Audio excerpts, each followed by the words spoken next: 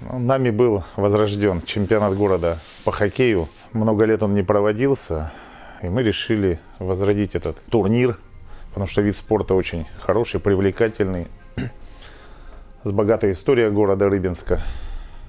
Непосредственно мой дядя Владимир Сергеевич Кузнецов, он умер э, два года назад, прямо после хоккейного матча.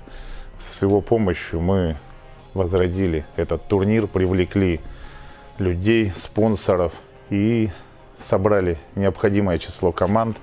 На данный момент у нас в чемпионате города принимает участие 10 команд. Ну, Как вы знаете, в каждой команде район 20 человек играет. Много зрителей, болельщиков. Все матчи проходят на стадионе спортшколы «Переборец» в зимнее время. Сейчас вот готовимся, подготовку прошли. Также мы привозили, привозили команду, товарищеский матч состоялся у нас с Чехии. С Чехии команда приезжала.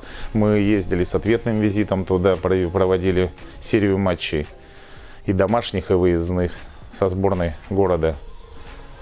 Ну, как бы эмоций, впечатлений много. В Словакии играли, в Праге играли матчи.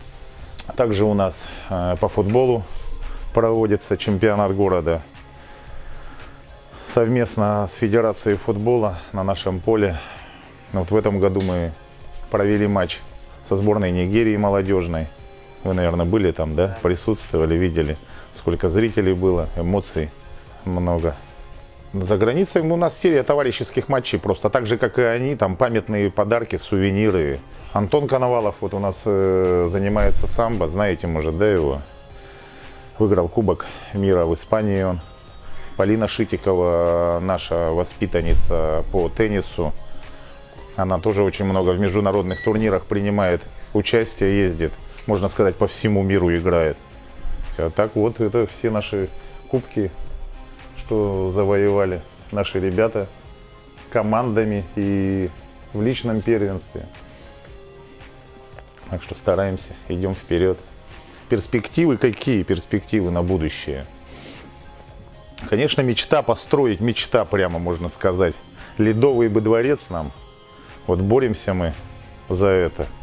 Можно сказать, просим у администрации э, хоккейную коробку закрытую, как вы знаете, с искусственным льдом. То есть, чтобы проводить матчи в любое время года, без учета погодных условий. Ну и бассейн хотелось бы нам. Проблемы сейчас, как у всех, нехватка, конечно, денег.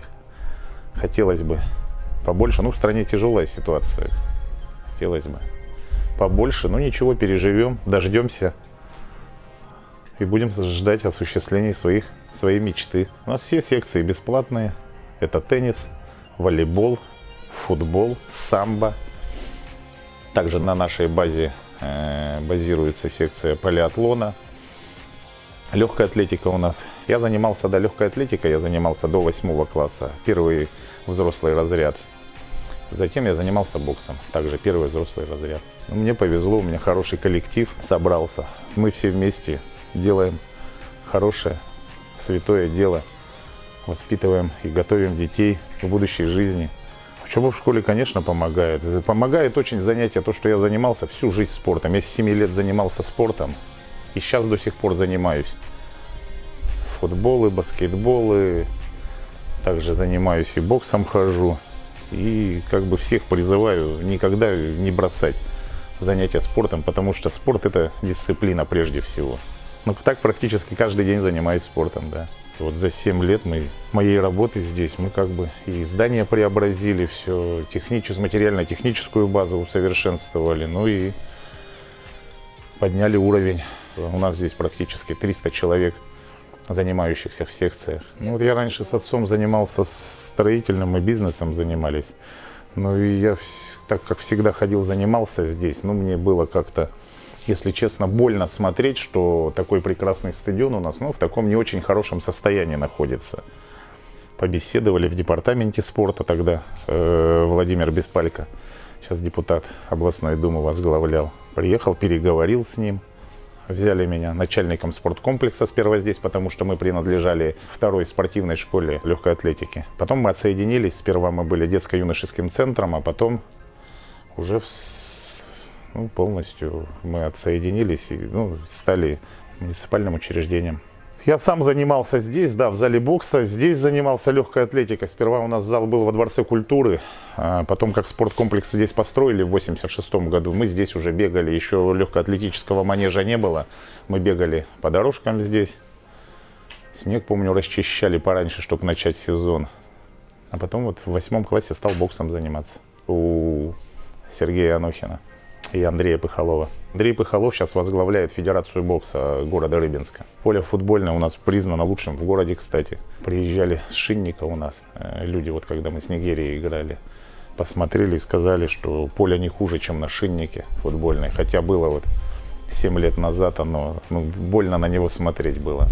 Они приехали из Нигерии, они приехали продавать своих игроков, предлагать по клубам, по московским. «Спартак», в «Шинник» также они с предложением вышли. И у них было несколько дней паузы. И Федерация футбола предложила нам на нашем поле провести товарищеский матч с, с переборцем, с командой футбольной, которая принимает участие в чемпионате города. Мы с удовольствием откликнулись на их предложение, провели футбольный матч. Сперва проигрывали 1-0, потом за 4 минуты до конца сравняли счет и в серии пенальти одержали победу. Для интереса Тушинник они разгромили со счетом 4-1. В этом году заняли мы первое место в чемпионате города по хоккею. Это вот переходящий кубок. Вот как раз мы организовали этот турнир в 2011 году. Вот в этом году уже получается сколько, 6, седьмой год, наверное, проводить будем. Вот это переходящий кубок, там вот везде вон они. Будем стараться в 2018 году финальные игры будут тоже одержать победу, чтобы кубок остался у нас.